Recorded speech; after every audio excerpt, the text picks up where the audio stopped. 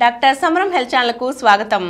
మనం ప్రముఖ వైద్యులు డాక్టర్ సమరం గారు రచించిన మానవ శరీర నిర్మాణము అనే పుస్తకం నుండి మానవ శరీరంలోని అనేక అవయవాలకు కలిగే వ్యాధులు వాటి చికిత్సల గురించి తెలుసుకుంటున్నాం కదా.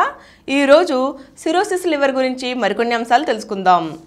సిరోసిస్ లివర్ గుండె పెరిగితే లివర్ పాడవుతుంది. కొన్ని రకాల గుండె జబ్బుల్లో గుండె పెరుగుతుంది. దాని ఫలితంగా లివర్ ఉబ్బుతుంది.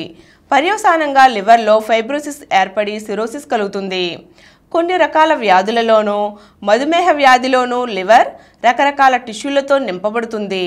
వాటి ఫలితంగా కూడా సిరోసిస్ లివర్ ఏర్పడుతుంది.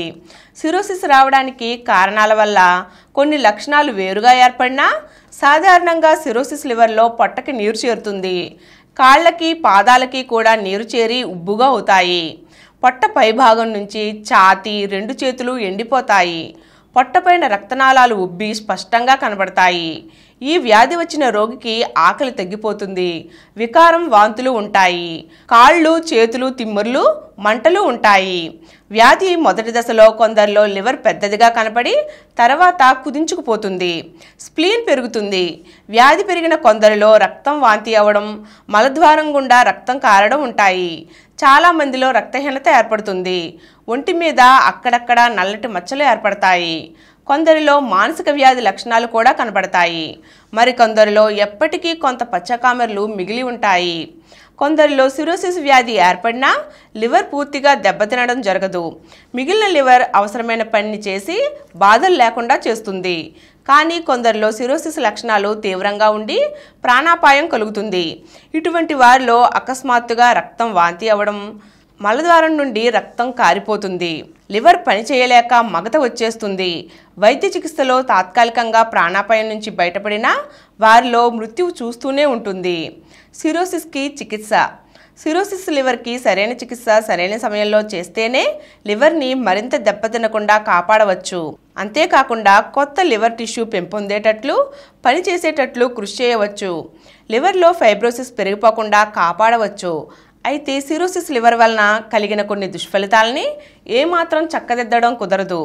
సిరోసిస్ లివర్ ఉన్న ప్రతి ఒక్కరూ పూర్తి విశ్రాంతి తీసుకోనవసరం లేదు. కడుపుకి కొద్దిపాటిగానే నీరు ఉండి అంతగా దుష్ఫలితాలు కనపడకపోతే మామూలుగా పనులన్నీ చేసుకోవచ్చు.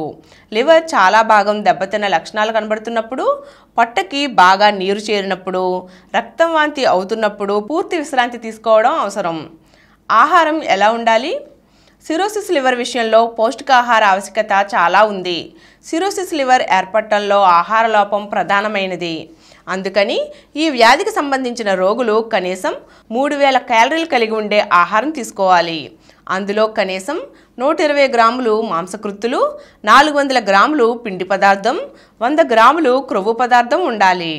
పాలు కోడిగుడ్డు మాంసం పప్పులు ఆకుకూరలు పళ్ళు రోజు తీసుకోవాలి. కూరలో ఉప్పు తక్కువ వాడాలి. ఎట్టి పరిస్థితుల్లోనూ ఆల్కహాల్ తీసుకోకూడదు. ఆల్కహాల్ తీసుకుంటే లివర్ కోలుకునే బదులు మరింత దెబ్బతింటుంది. ఆహారంతో పాటు బి కాంప్లెక్స్ విటమిన్ సి బిళ్ళలు రోజు తీసుకోవాలి. బి ట్వెల్వ్ విటమిన్ ఇంజెక్షన్ రూపంలో ఇవ్వాలి. రక్తం వాంతి అవునప్పుడు వెంటనే రక్తం ఎక్కించి రోగిని ప్రమాదకర పరిస్థితి నుంచి తప్పించాలి. పోర్టల్ హైపర్ టెన్షన్ వంటి కొన్ని పరిస్థితుల్లో సర్జికల్ ట్రీట్మెంట్ ద్వారా దుష్ఫలితాలు కొంతవరకు సరిదిద్దవచ్చు. సిరోసిస్ లివర్కి సంబంధించిన కేసుల్లో హెపాటిక్ సెల్ ట్రాన్స్ఫ్యూజన్ చేయడం వల్ల కొంత ప్రయోజనం ఉంటుంది. ఈరోజు సిరోసిస్ లివర్ గురించి తెలుసుకున్నాం కదా? వచ్చే ఎపిసోడ్లో కాలేయం అరుదైన వ్యాధులు. ఈ విషయం గురించి తెలుసుకుందాం. Thank you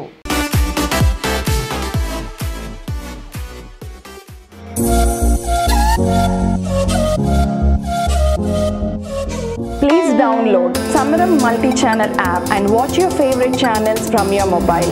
App available on Google Play Store and subscribe to the channels. మరిన్ని కొత్త వీడియోల కోసం మా ఛానల్కి సబ్స్క్రైబ్ చేయండి క్రింద ఉన్న బెల్ ఐకాన్ని యాక్టివేట్ చేయండి